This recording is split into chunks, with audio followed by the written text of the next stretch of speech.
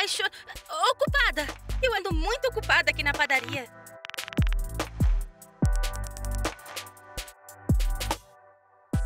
Ah, tá. Me fala se eu puder ajudar em alguma coisa. Aí, você quer passear de barco pelo Rio Sena?